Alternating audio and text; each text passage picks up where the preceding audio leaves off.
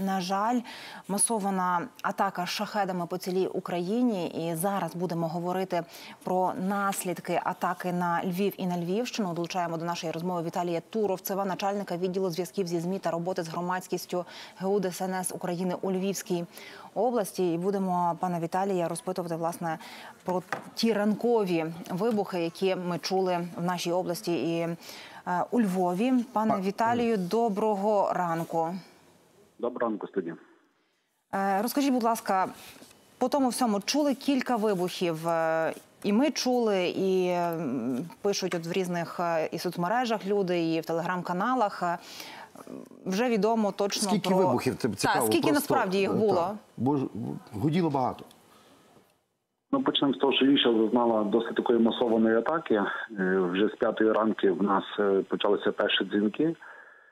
Перший вибух настався в межах Львова, де один з безпілотників ворожої Російської Федерації поцілив у будівлю музею Романа Шухевича.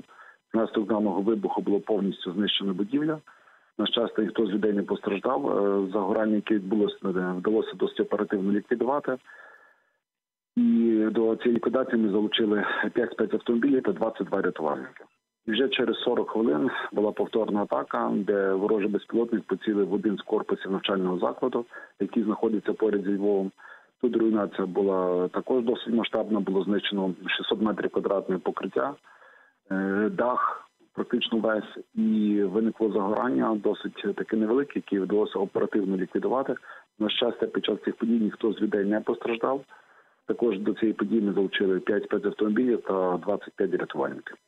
А скажіть, будь ласка, е, пане Віталію, а були ще інші е, шахеди збиті десь в межах е, міста? Бо кажуть, звуку пишуть про багато з з різних локацій про звук. Може, це один той самий шахет летів. Просто скі, е, скількома було атаковано саме місто?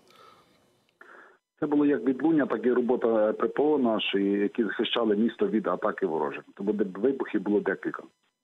А що по області? Бо знову ж читачі отут дописують, е, глядачі, читачі дописують про те, що е, хтось, хто живе на межі е, Львівської і Рівненської областей, Тернопільської областей, пишуть, що бачили хтось 9 шахедів, які летіли в напрямку Львова, хтось ще якусь кількість. Яка кількість область атакувала? Ви розумієте, що загалом по Україні було випущено за ніч 90 шахедів. Всі вони в різні в різній кількості атакували кожну область. Тому були збиті е, ППО. Відповідно, ми чули і різні вибухи як в межах міста, так і на межі наших областей. Пане Віталію, є одна, одна річ, про яку, зокрема, і міський голова теж про символізм написав. Сьогодні день народження Степана Андрійовича Бандери. Е, Відповідно, точне попадання по е, університету, в якому він навчався, точне попадання по музею генерала Романа Шухевича. Ну, ну тут якраз виникає класичне е, московське питання: совпадіння чи була наводка? Не думаю, що це було співпадіння. Думаю, що ворог е, нищить не тільки об'єкти інфраструктури, не тільки е, нищить наших людей, не тільки нищить наші будівлі. Він також намагається знищити історію. Це напевно один з таких ударів, який був націлений саме на історію нашу. Але щоб попасти, ця наводка має бути з, е, по координатах землі, чи це запрограмовується заздалегідь перед ударом?